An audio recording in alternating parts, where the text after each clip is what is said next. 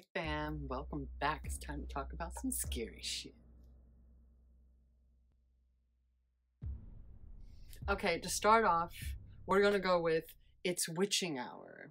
And this video is The Demon in the Basement. This is a personal paranormal story time where they tell the story of a personal encounter they had many years ago with an extremely aggressive entity and a crazy landlord that only compounded the situation.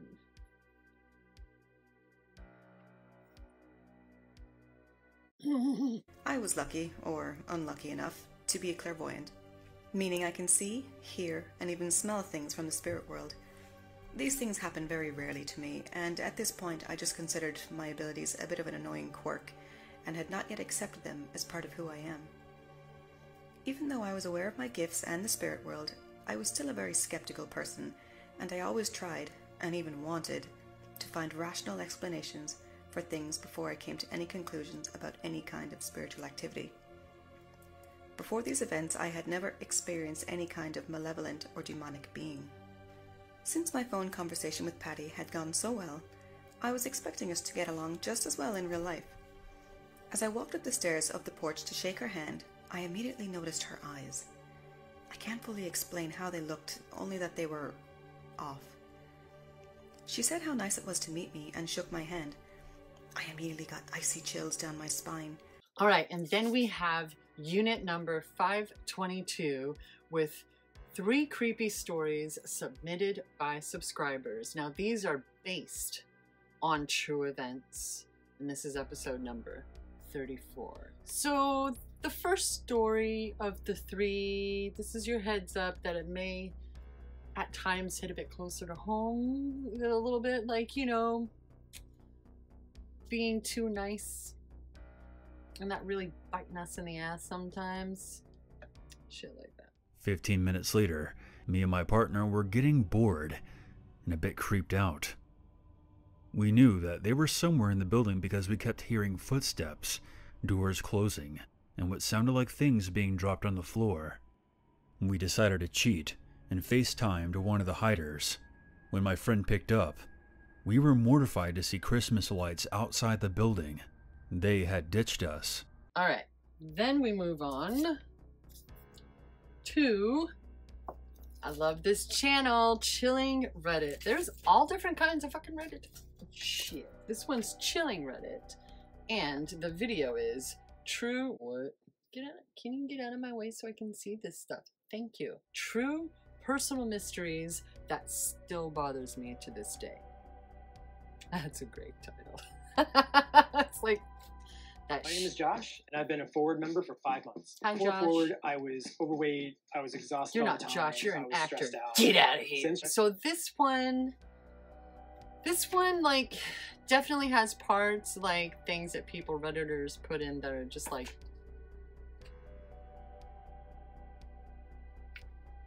How'd that even make it? Are you kidding me right now?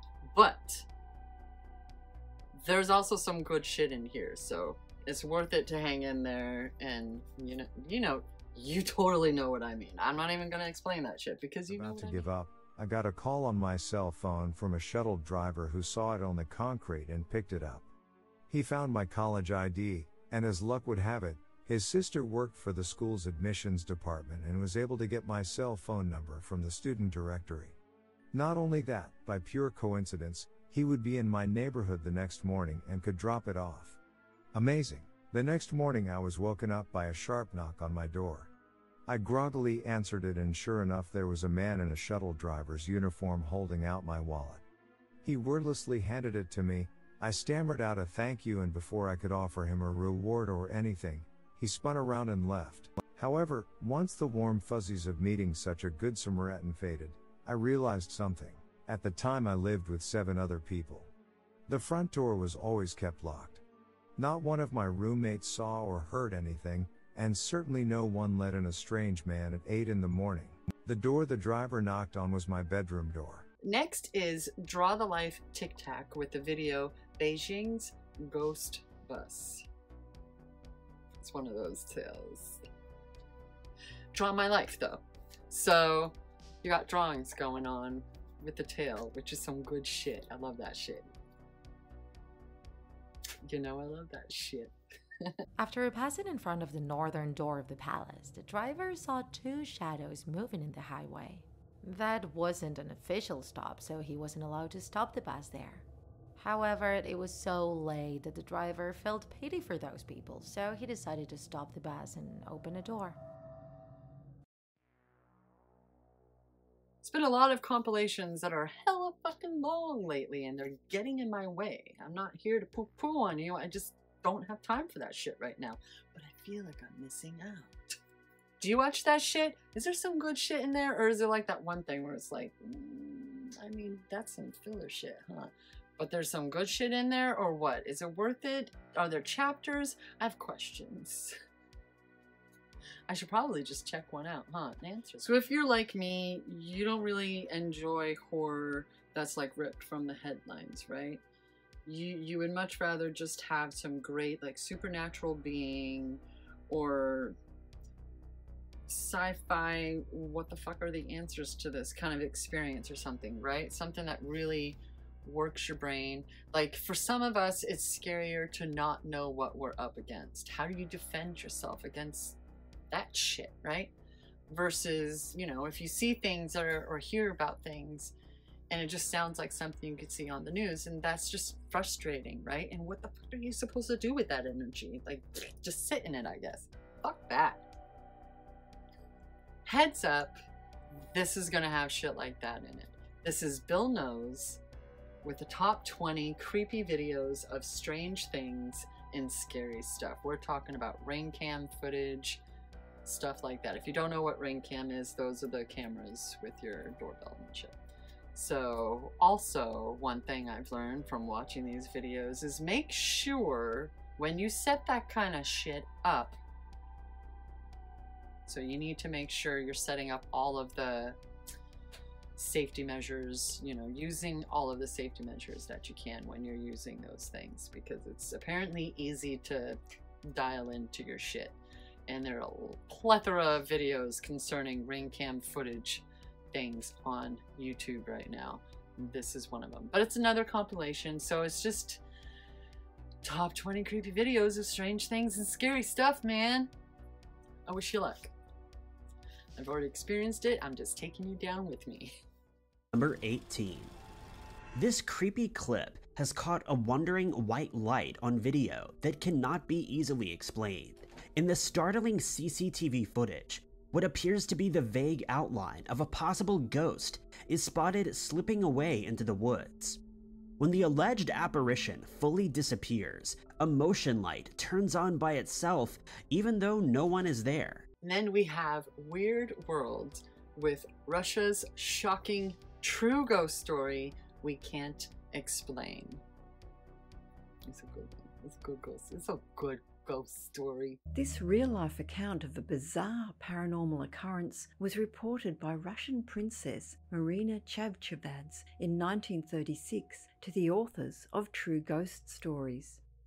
The strange and terrifying encounter had received widespread publicity and caused a stir in pre war St. Petersburg. A haunted house on Vasilyevsky Island in St. Petersburg, Russia, had been unoccupied for many years and held a sinister reputation. However, two students who scoffed at superstition and were wanting to debunk the supernatural legend decided to spend the night there. The owner of the house was keen to reinstate its property value on the selling or letting market and gladly gave permission to the paranormal investigators to stay as long as they liked. So, your palate cleanser this round is NamibiaCam. I have been watching the shit out of this stream. It runs 24 7 at nighttime for them, you know, at their time, which is if you're here in like North America or in these time zones we got going on around here, then our daytime is their nighttime and it slips into infrared. But you can see things like a lot of oryxes, which is a type of antelope, as well as springbok, springbok, Try saying that seven times fast, which are another type of antelope.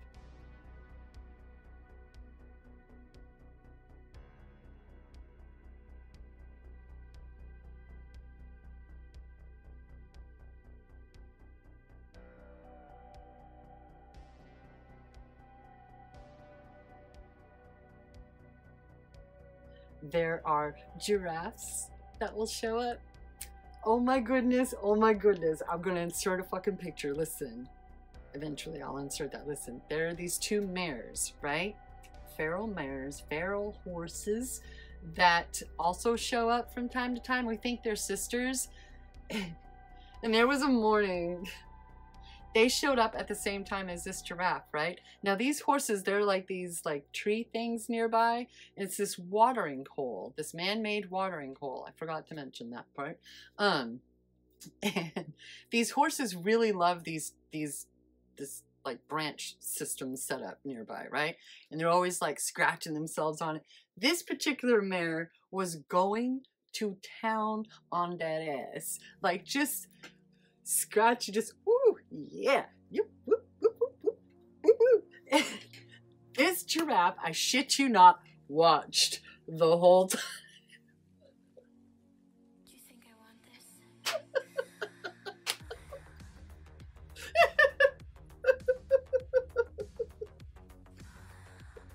I can't. I fucking can't, dude. I can't. So, how do giraffes drink water from that shit? it's really cool watching them actually. Like if they go down to like eat food, they just spring right back up. It's really cute. They're like dancers with that shit. Um, zebras show up. Herds of like zebras and stuff will show up.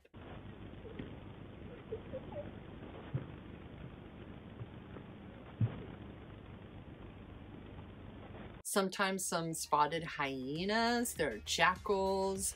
Um, lions don't show up around there because they're more in like northern Namibia and shit, but like still, no elephants. There were some cheetahs going through there for like around the beginning of December is the last time we saw them though. Um, so yeah, it's usually the oryxes though.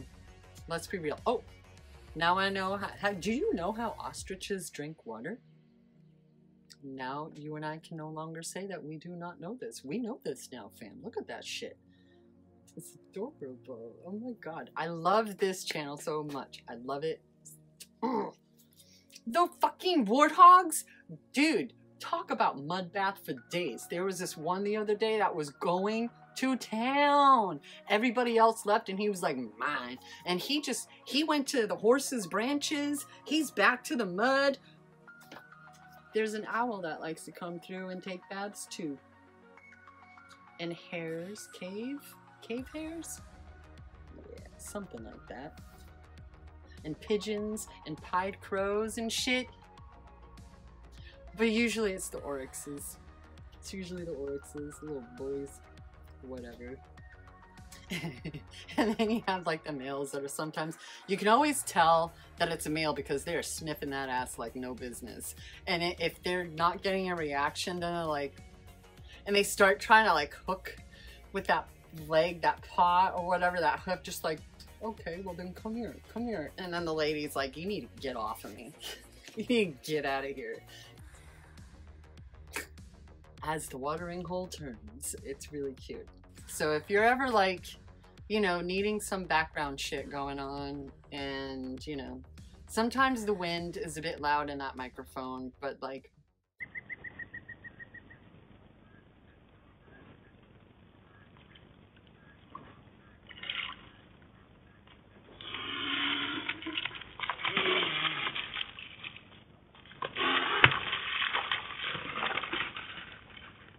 All Thanks for putting up with me yet again.